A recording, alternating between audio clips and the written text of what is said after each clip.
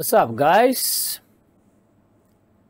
Mm, good morning. Today we're gonna try to fix a TV. It's a Sony um, old school TV. It's a Sony, I will tell you now, guys. Sony Bravia 32 inch TV. The model number of this TV is uh, KLV 32 VX300. Um, this TV has no light, uh, no nothing, no response from the TV. Um, I did check we uh, with a couple of things with this TV. Um, as you guys can see, this connector is the output connector going to the hold on, hold on. There is two output. This this is going to the um, it was like this so I think this connector is going to the backlit circuit and this one is going to the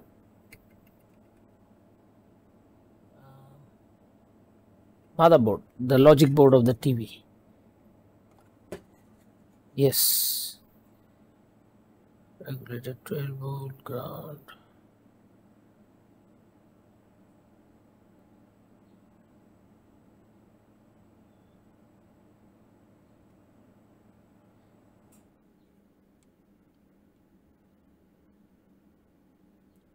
Yes.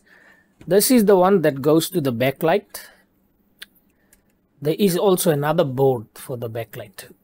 This is a proper TV um, I will show you guys if I can fix this then I will I will put this board on the TV and then I will try to show you guys how does the the the TV setup looks like. It's not like this cheap uh, Chinese TV where everything come in one small board. This TV has one, two, three, four separate board, one power supply, one logic board, one backlight circuit, and then one board is for the control panel. So it's a proper nice TV. Um, I don't know if we can buy those type of TVs anymore. Anyway, the problem with this uh, TV is no power now I did check on this connector there was no voltage. Means definitely it's it's a power supply issue. I'm going to double check or recheck again with you guys see if there is anything comes out okay? Uh, let me get the power cord and then we will check together what happens to the voltage okay? Okay before I power it on guys. I want to check some of the diodes and some of the fuse. Alright let me rather remove first before I put power in. I didn't put this power switch on yet on the multi-plug. The fuse let's check the fuse. Zero. So the this fuse is good um, is there more fuses I don't see I don't see.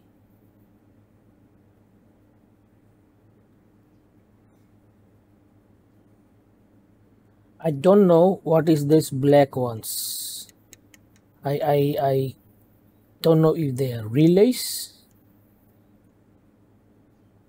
or some sort of he's saying 310 volt 20 0.22 microfarad. So x2 afc 47 4k let me have a look. What is that component? But i checked a lot of videos regarding this fault the dead uh, sony bravia tv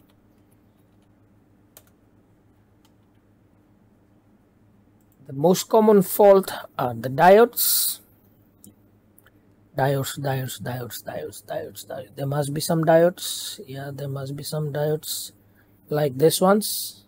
This is a diodes. I don't think you can see yeah there's one. Uh, normally those diodes they get bad. There is one. Uh, there should be probably we might have there's one diode there's two diode on the other other model they they have three diodes on parallel mode. And normally this type of uh, old TV the three diode carries 5 amp each. So it's 15 amp they carry to to carry more amperage so normally those diodes gets bad. I will check just now but i just want to see what is this component. Afc 47 4k afc 47 one minute. Okay. Capacitor.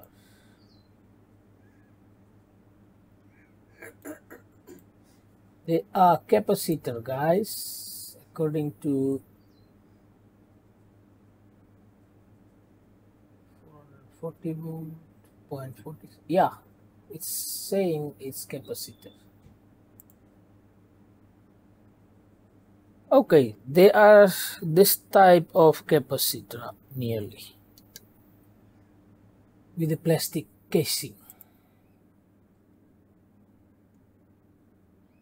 Film capacitor. Sponsor i don't know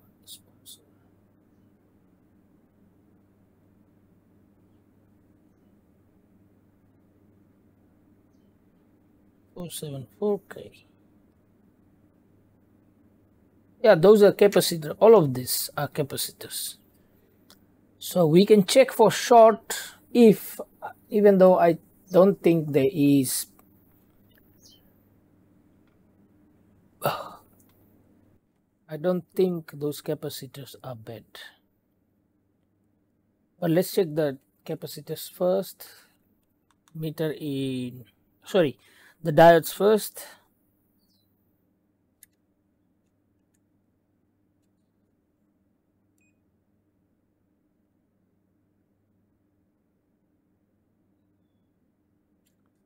No reading. Should it be like that?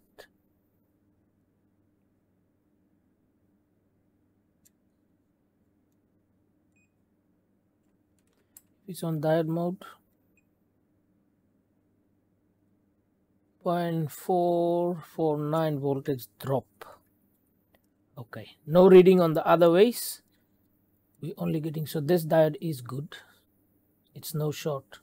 Even on the beeping mode oh well oh well no short. So this diode is good. This one's oh well oh well in diode mode no reading.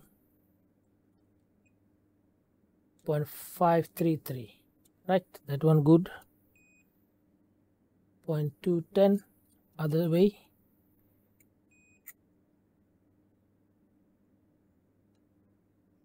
Now that's strange. Still charging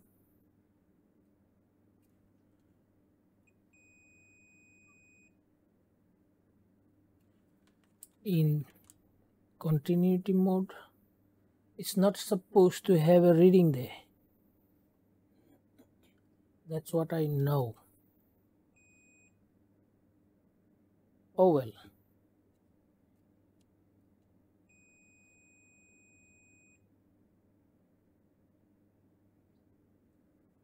Six one six. Oh. Oh well so I don't know if I'm checking it right. This diode. Let me show you guys.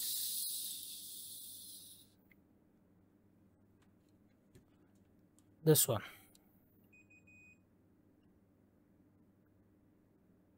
616 17 ohms. If we change it then it goes to oval mode. And in diode mode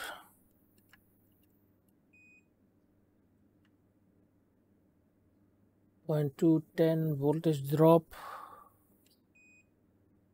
There is not supposed to be reading but I don't know why is it having a reading. So we must check on this diode. What is this diode is doing? Okay. Oh there is two more. Let's have a look. Oh well you see? One way is OL the other way is 0.494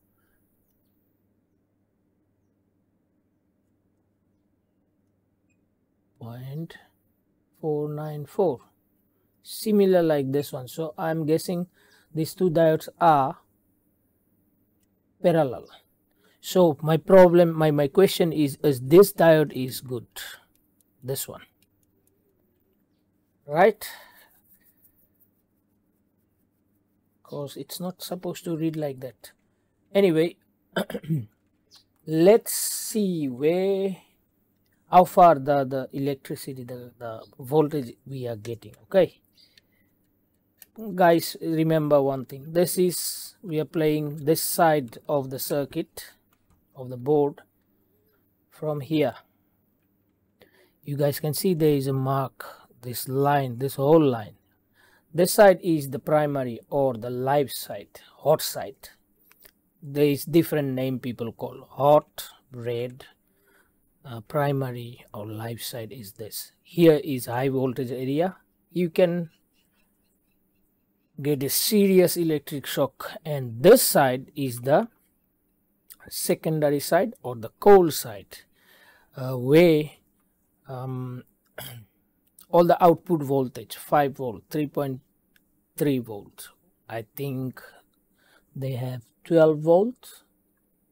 Let's have a look. 12 volt 2 volt even 2 volt 3.3 volts. Yeah. Th this is the cold side where um, all the voltages is going out to different uh, section of the TV okay? Um, we gonna have a look. Let's switch it on. First how much AC we have. Oh you know what I was I forgot to check the rectifier bridge. That's one more thing. But anyway that if our capacitor has voltage then I think rectifier should be good. First things let's see if we have 220 okay? Remember working with 220 volt to up to 440 volts so be very careful meter is on AC mode. We have 230 volt on the connector. And then fuse. The fuse was here.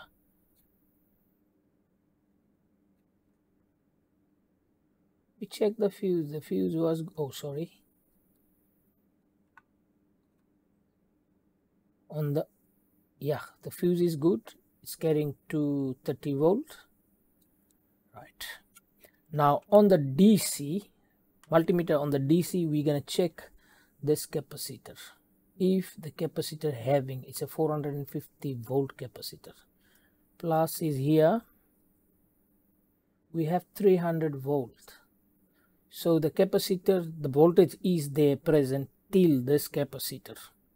Okay? Now from here what did I check? What did I check? What did I check? On the MOSFETs. Should have high voltage. The drain of the this MOSFETs. One two three MOSFETs. So let's let's make a make it like this. Minus these are the MOSFET one two three. Check check there 318 volt. My capacitor has 317 volts. So it's going there. What about this one? This MOSFET don't have any voltage. This one has 318 volt. So I have 318 here. I have 318 here. Okay? But there is no voltage here.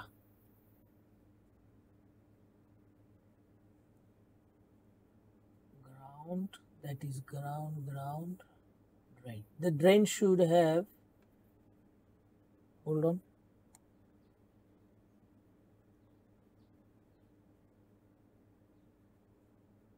okay. I don't know if you guys can see. Let's put it off.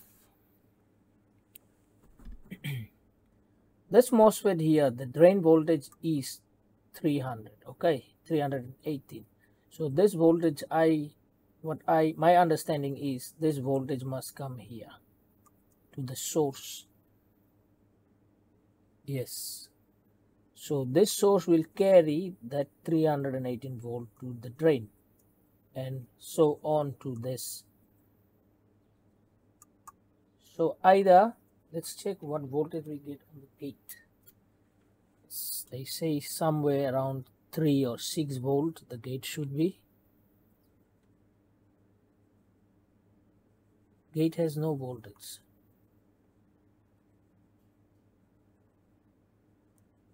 has no voltage. Here is 318 here is nothing. Here is nothing. 300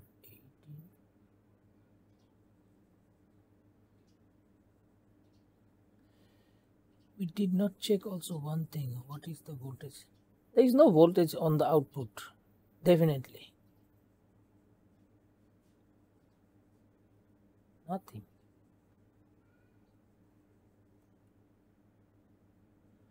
so the volt this side of the cold side of the board has no voltage okay guys i've been poking around with this board right um I want to show you guys something that I found. Let's put the multimeter on continuity. Change my... Okay, that should be good. Let's zoom in little. Right. Let's have a look together. You see this transformer, one, two, three transformer. We're gonna check the coils on those transformer right let us look together okay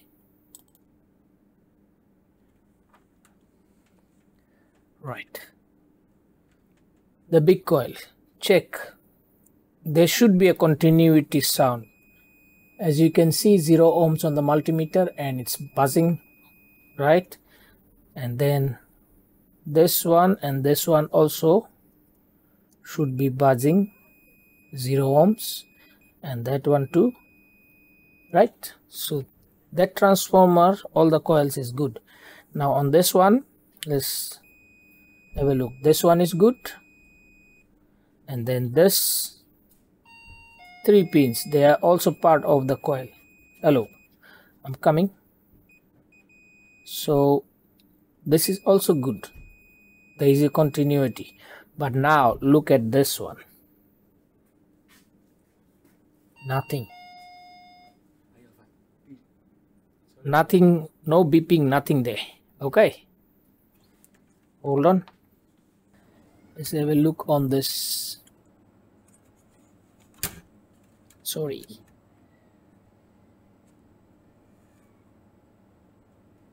Have a look on that.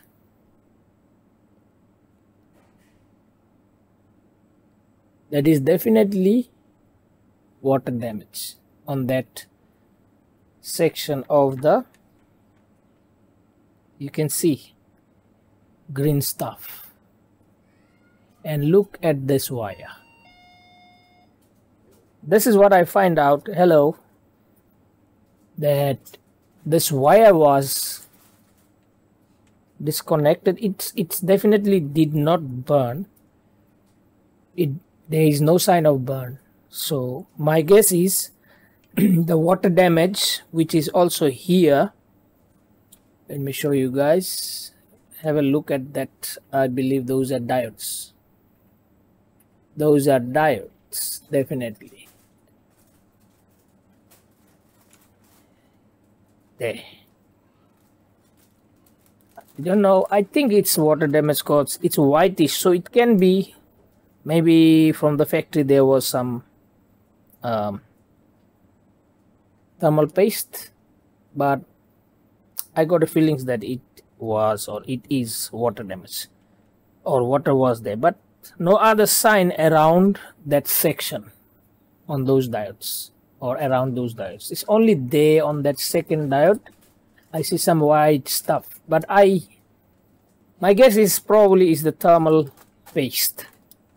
Hold on. You can see there is a sign of water damage. Um, I will try to clean it with a brush but I'm not going to take out that transformer. Okay let's apply unleaded or leaded solder leaded solder. Yeah. This factory solder,s they are very hard to to remove or work with. So we are going to mix with the unleaded or leaded solder sorry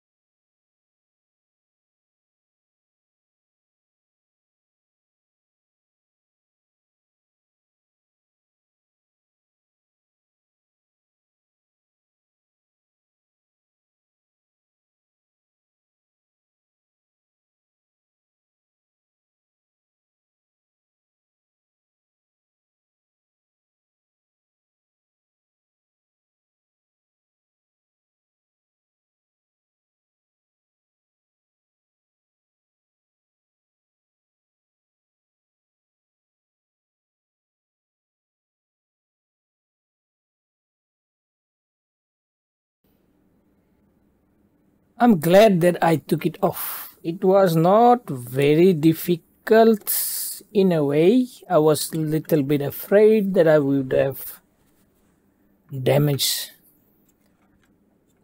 the board. Let's show you guys under the microscope how does this one looks.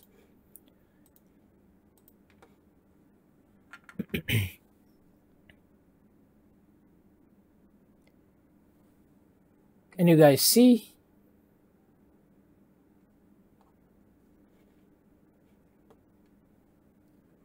Doesn't look good. Now I have to see if this pin is okay. Can you guys see? Can you believe it? Look at it. There is the problem. It did burn, it burned on this side.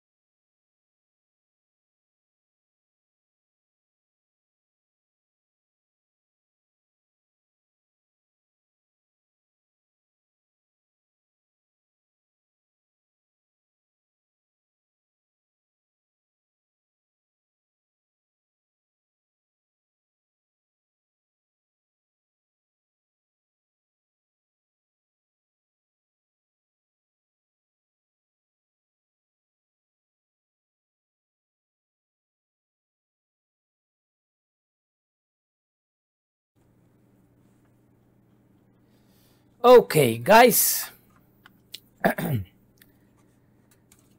As you can see, I did put the transformer back in its place. It wasn't a difficult job for me. Um, yeah. We will first check with the multimeter if there is any short or if diode readings and stuff are good. One more time okay? Double check. I believe these are the MOSFETs. One two three here. Rectifier bridge and diodes. One two three diodes as we checked before those other diodes also they are good. No short. No short. Or that is good. All right. Let's check this three. They should. That's good.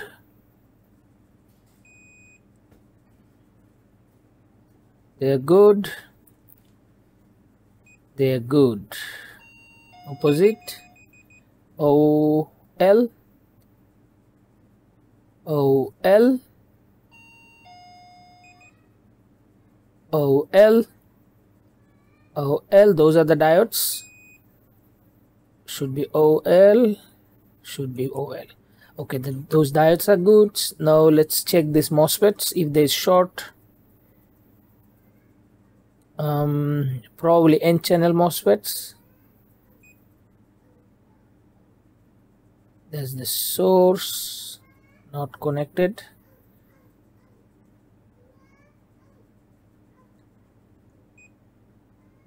Not short no short no short.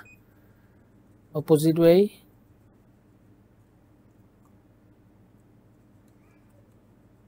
Okay those di uh, MOSFETs are also good. I don't see any um, problem short wise they I don't see any shortage. Let's plug in and see if we have voltage here here should be 3.3 volts when I first uh, test the, this board I did not have any any voltage here okay? Our first problem is the 3.3 volt which is a standby standby voltage standby voltage. It must be there for this board to work. So let's have a look if we have 3.3 volts on that connector the standby voltage okay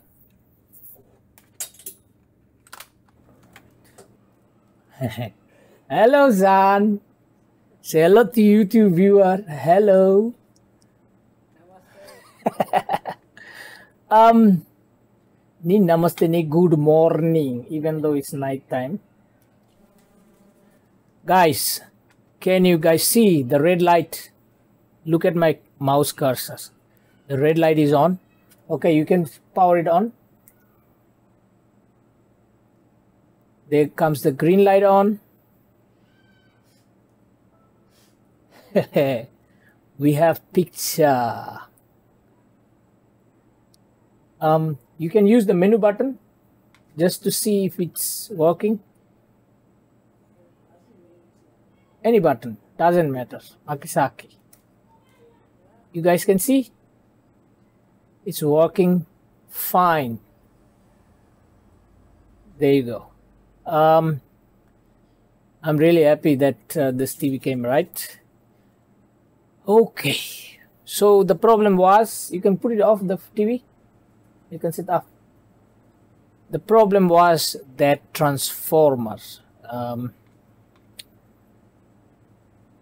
which was burned off. The TV is fixed. I'm happy. Uh, I'll put back the TV and then hopefully they come and take it um, as usual uh, like and subscribe my channel and um, I'll end this video now so see you in the next next video okay goodbye